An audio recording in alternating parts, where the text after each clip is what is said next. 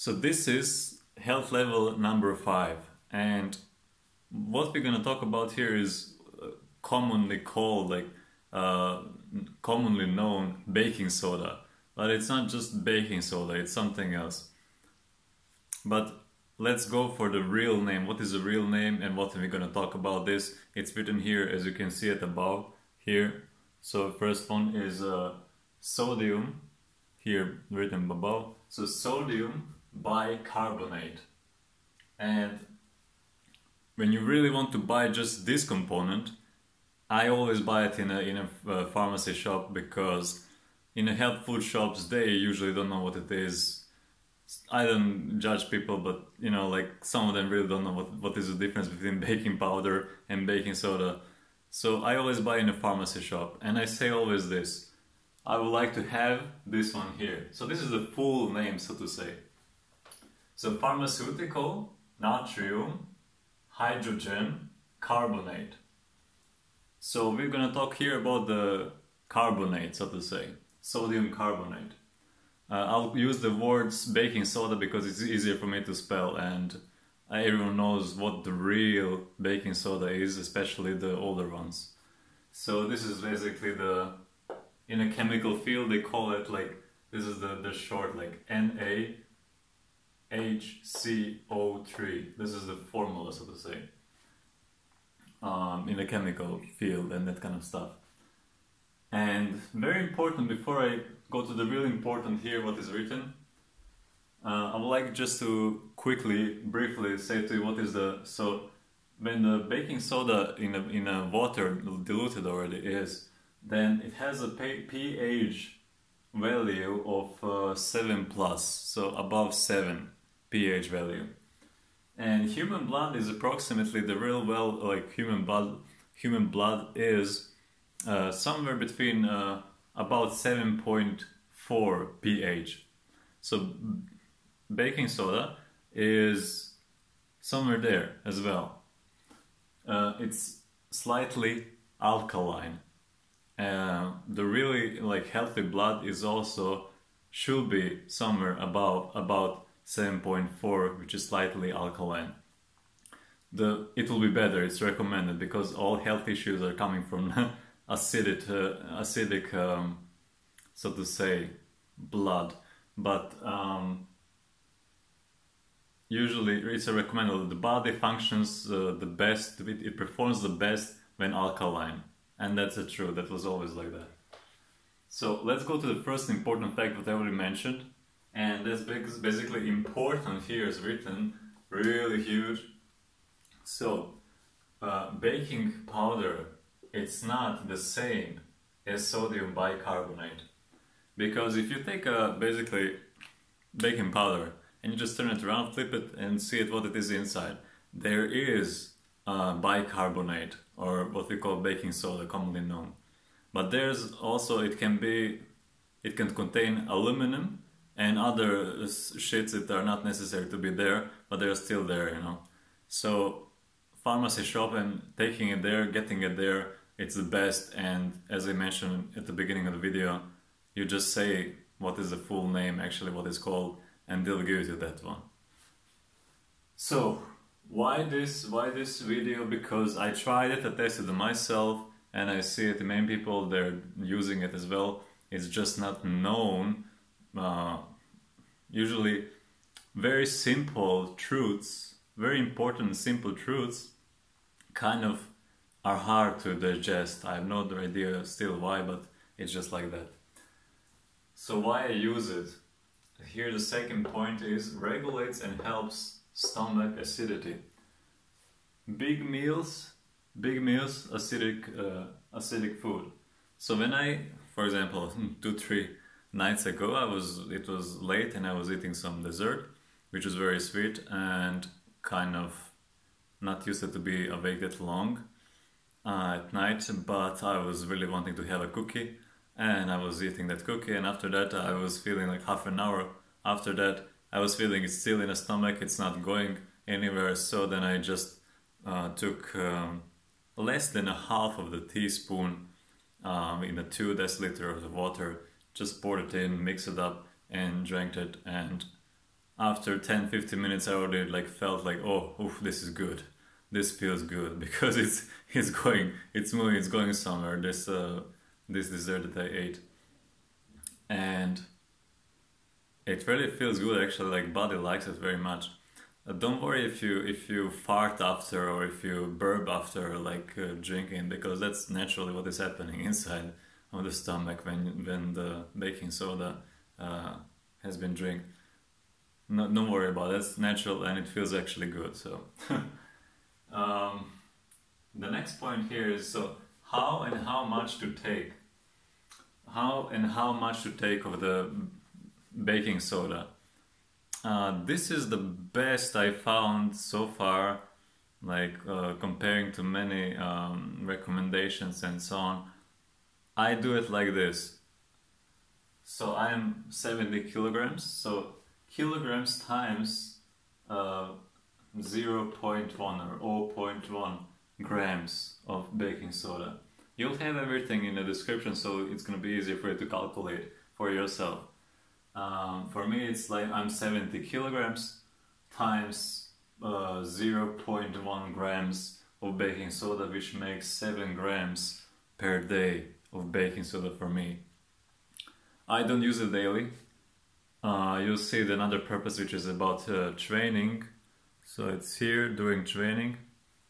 That what turned me on to, to make this video actually because I found some very interesting exciting facts about it. Um, yeah so 7 grams for me per day.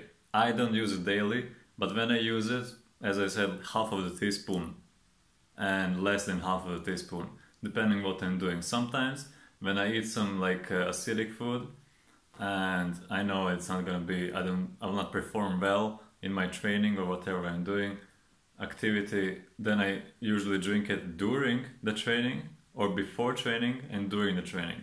We'll go to that point later on. But it's usually for regulating the, the stomach acidity which is very important and we'll go to the next points why is still this thing so amazing. Uh, and that is, here is why. So why, so yeah, we went to the like calculation how much to take and then limits how long. So how long can you take baking soda? Uh, it's basically two weeks maximum and then you have to make uh, at least the same break or two times longer. So if you take it for two weeks, uh, like uh, each day, daily, then at least uh, I wrote here like one month because it's better, but two weeks at least break in between, and we will mention why later on. Um, but let's say it two weeks doing it, taking it, and one month break. That will be that's a good ratio. That's a perfect balance. But each person is different, so each person has to know itself, know its body, know what's it, what it needs, what it uh, wants and so on. So that's another responsibility. Um, so why why two weeks and then one month break of using like taking the baking soda is because it's salt and salt uh, increases the blood pressure. So this is gonna be uh, this baking soda. It's in a category of the salt. It's a salt, so to say, partly, and that's the main reason. So let's go to some facts that are really kind of interesting and if you just do a bit research you'll be blown away. So some raw facts here, let's write it raw facts. so raw facts about baking soda. I hope you can see it. If not, I hope you'll hear it. so, baking soda is responsible for oxygen transportation. So you transport the oxygen to the tissues and to the uh, muscle cells, um, etc. Um, but why is that important? You will see here during the training what is happening. Uh, second thing we already mentioned, kind of partly, I mentioned that the um, so increases the blood pressure, but it actually expands the blood vessels. So expands blood vessels, That's the second raw fact. Third one is I already mentioned this. So body performs the best when alkaline.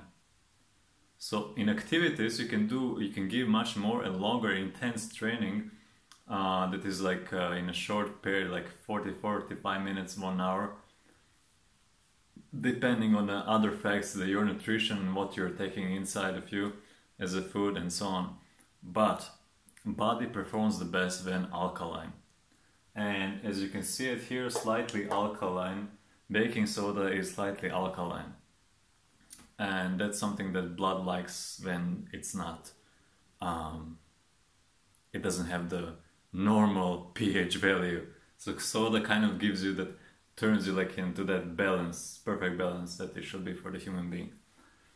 And fourth here um, so where can you find the bar- bicarbonate or baking soda? This component. Uh, some fruits and vegetable contains it, and that's good to know. Um, but let's go to the really something that's very interesting here, and that's here, this side here. I'll not go into the detail. I just want to share like an idea that is actually applicable, and many people use it. It's just not like uh, popular because it has actually some hidden secrets inside. So look look at this one. So it kills uh, cancer cells. And there is a, some study done. I'll put the name of the man. I think he's Italian, Italian doctor that he already done that work and proved for the cancer that it kills cancer cells. But you do your own research. I'll just give you the name and you will see it. Mm, so kills cancer cells. Maple syrup uh, plus baking soda. Maple syrup is sweet. Uh, cancer cells like uh, they like sugar and when you mix the, the basically the maple syrup which is very sweet and when you mix the baking soda like these two then basically you you deliver uh, to the to the cancer cell baking soda which is slightly alkaline and so you go directly basically like you're uh, aiming with a sniper to kill the the cancer cells which is very interesting if you want to, you can change. You can uh, find something in internet about it. But let's go to this. This is what turned me on. Like this last point here turned me really on, and that's during training. So why taking the sodium bicarbonate or baking soda during training? Um, I'm not a scientist, but uh, I I've I have some insight, which is kind of interesting, and you can do your own like uh, some quick uh, homework to find out which is very interesting so what is happening during the training i'm taking like i'm saying to do the homework kind of to do research on your own to find really what is going on because i'm not scientist i cannot say it exactly very simply but i'll kind of give you the rough idea what is possible so during training so ph value in muscle cell and its acidity. So when we're doing training, let's say we have a weight and you just let now lift it like let's say 10 times and you cannot do it the, the 11th or 12th time. And what is happening actually in this in this point when you know like I've done this one, this repetition I cannot do it another one. What is actually happening is that uh, in a muscle cell um, some acidity is released that actually saying that the, there is no oxygen anymore. So basically, in this acidity that is uh, present there at that point, I'll try to, to, to explain the best I can. And this acidity that is released in, in the muscle, um, muscle cells, basically saying like muscle like to, to quit, it has to quit because it doesn't have any more oxygen. And the acidity level and it's, it's written here. Um, so pH value. Wait, where was it? Yes, pH value. So when when certain pH uh, value in a muscle cell is when you when you cross that pH value, when it becomes muscle uh, cell becomes acidic, you have to uh, like quit and do like muscle has to quit and do you have to put it down the, the weight, put the weight down because it, you cannot do another repetition. Because acidity in a in a in a in a muscle cell it, it crosses some pH value and it's not anymore uh, alkaline if I'm saying it well. Um, it became acidic. And that's why because this acidity there is no any more oxygen you have to release the, the, the weight uh, you have to quit and to put the weight down. And what I think is happening but you if you know more this topic write down in the comments or you will be just maybe adding up on your um, what you already know about this if you're into the training and so on but lactic acid is something that is uh, naturally produced during the training. And I think that I'm talking about lactic acid here when it comes to the acidity, like uh, pH value is crossed and muscle cell became like acidic and you have to release the weight. You have to quit and to put the weight down. But lactic acid, what I want to point out here is this. So lactic acid, this is the, so to say, I call it formula. It has C, uh, C3 H6O3 and you can see it here. So when muscle quit, I said that. So when muscle quit is when acidity in a in a muscle cell is crossed, specific acidity, pH value is crossed, and acidity is present. You have to release. You have to quit. Uh, muscle quit basically because it's painful. You have to put it down. But what is the baking soda? This is the the uh, for the as we said, pH value. So soda, baking soda is slightly alkaline. And look at this, like this is very important. Like lactic acid has this formula, and as you can see it here above, here and here, this is the same. So this is the baking soda formula, NaHCO3. So it's here is the H for the baking soda, H, and here's the lactic acid H as well, but it's H6. And here is C for the baking soda and for the lactic acid is C3. And as you can see it here, for the baking soda it's O3 and it's the same for the lactic acid O3. I think, I believe they have some really, really connection now. I think I'm talking about the same thing, about the acidity in a muscle cell and why you cannot do another repetition. And how actually baking soda can really help you uh, perform more. I tried this on myself. Uh, I'm not talking something that I didn't try. I tried this and it worked very, very well for myself. I gave 30 or 40% more on the training, which is very noticeable. You notice, like, okay, well, I can function more and I can do it. You know, I can do the training more. And not, not, not unnaturally more, but naturally more.